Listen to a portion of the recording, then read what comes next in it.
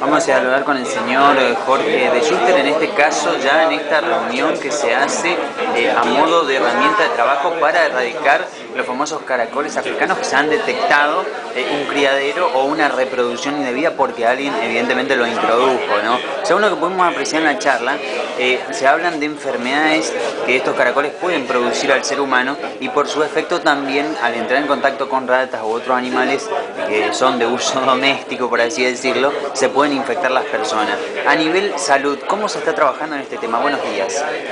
Bueno, esto es un problema emergente que, del cual no se han detectado casos humanos hasta el presente. Eh, justamente este taller tiene como prioridad eh, difundir, informar y pensar algunas estrategias fundamentalmente de tipo preventivo. Correcto. Porque enfermedades asociadas a los parásitos que pueden llegar al caracol, pueden estar en otros reservorios mamíferos y eventualmente llegar al hombre, todavía es información que no se dispone o se desconoce. Porque se ha detectado acá el caracol con una gran capacidad de multiplicarse y de propagarse en la provincia de Misiones. Correcto. la medida preventiva primaria es el control de la presencia del caracol. Desde salud pública, con otras entidades como en el caso de SENASA, ¿también están haciendo un estricto control al respecto de esto? Sí, bueno, esta es la primera eh, reunión del Ministerio de Salud de la Nación, de la provincia y distintos organismos que tienen que intervenir en salud frente a la información que está brindando el SENASA.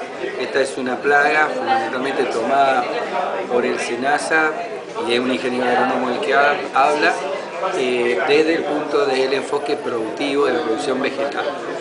Pero a esto se le agrega el riesgo que representa este caracol para la propagación de enfermedades para la salud humana.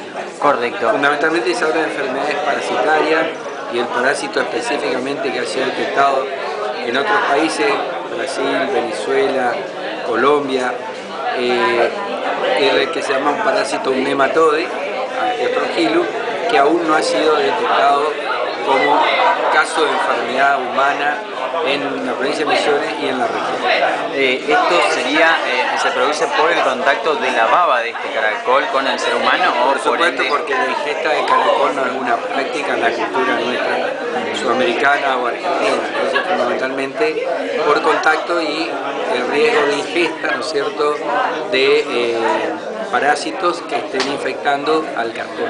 Nosotros, por ejemplo, tenemos eh, un caracol domiciliario o el que siempre vemos. ¿Cómo o, qué característica tiene que tener para que determine ¿no? a llamar a salud pública o, al organismo más cercano para saber o detectar qué tipo de caracol es este? Bueno, el material que está preparando el SENASA y que seguramente la provincia va a incluir en la estrategia del control y eliminación de esta plaga, eh, trae a tamaño natural, el tamaño normal, eh, las características eh, del calorocor en su tamaño, en su color, en el lugar donde se lo puede detectar. Y es una información que trataríamos de distribuir, sobre todo con participación de la comunidad para la eliminación de la plaga. Claro, la pregunta es por ahí algo racional, porque si uno encuentra el caracol en la casa y por ahí un caracol que no le da artículo, pero uno observa la presencia desmedida de los mismos y por ahí estamos realmente como vecinos albergando a esta plaga y no nos damos cuenta de qué se trata. ¿no? Yo creo que eso está ocurriendo en Iguazú y es lo que motiva esta reunión y el diseño de un método sea simple, económico, participativo de la comunidad, que permita eh, intensificar el control y reducir la presencia ¿no es cierto? de la plaga en la ciudad.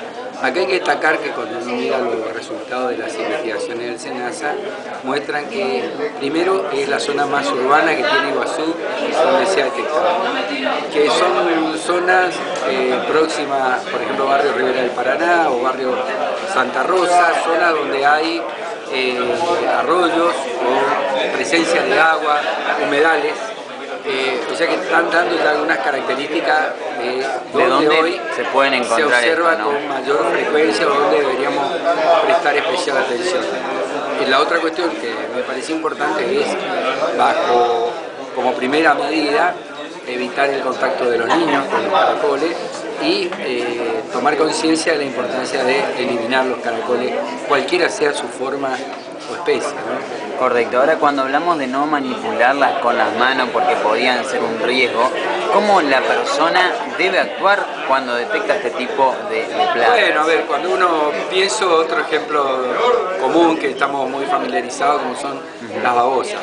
Lo importante es que no haya un contacto directo con el, con el el ser humano. Con el molusco y las manos. Entonces, normalmente se utilizan o bolsas de residuos, o guantes, o elementos que después van a ser desechados también, ¿cierto? Quizás lo más económico son esas bolsas que nos dan en el mercado, que uno dispone, dispone siempre en la casa, por supuesto, eh, la, que, la región que va a estar en contacto con el caracol no, no tiene que hacer contacto con la mano y luego esto es desechado y eliminado bajo cualquiera de los métodos que ya se estuvieron conversando acá. Lo más importante es que podemos decir que por lo menos hasta ahora no hay ninguna persona enferma, no hay ningún caso. No, no, no hay ningún caso, yo diría que hasta en Argentina de Angiostronchilus este, notificado al sistema de salud. Lo que sí, como medida preventiva, y es lo que estamos acá, profesionales de salud, es conociendo que ahora existe el riesgo, con la presencia del caracol este riesgo se puede ver incrementado. Y este, eh, también eh, conocer no solo la enfermedad, sino también posibles métodos diagnósticos y cuáles son los agentes involucrados en la posibilidad del riesgo para el ser humano. Claro, esto seguramente también implica que se le va a dar instrucción precisa al personal de, salud pública, en este caso los hospitales, los CAP y demás. Esto tiene una complicación más. Primero que no, aún en los países donde ya hay casos humanos no es frecuente. Hay estudios, investigaciones en Cuba donde en un periodo muchos años detectaron 25 casos humanos. Por supuesto que los casos son graves porque son meningitis que afectan el sistema nervioso central, producen problemas neurológicos graves, y, pero el problema es que muchas veces la, clínica es muy difusa, después de cuadros intestinales, complicaciones respiratorias, Pero digamos, por ahora lo nuestro es preventivo, informar sobre el riesgo que significa manipular caracoles o tener una gran cantidad de caracoles en la casa, cualquiera sea la especie, porque también lo que se está viendo es que este es el único caracol que va prevaleciendo ¿no cierto? en los domicilios de Iguazú, un poco la base de la información brindada.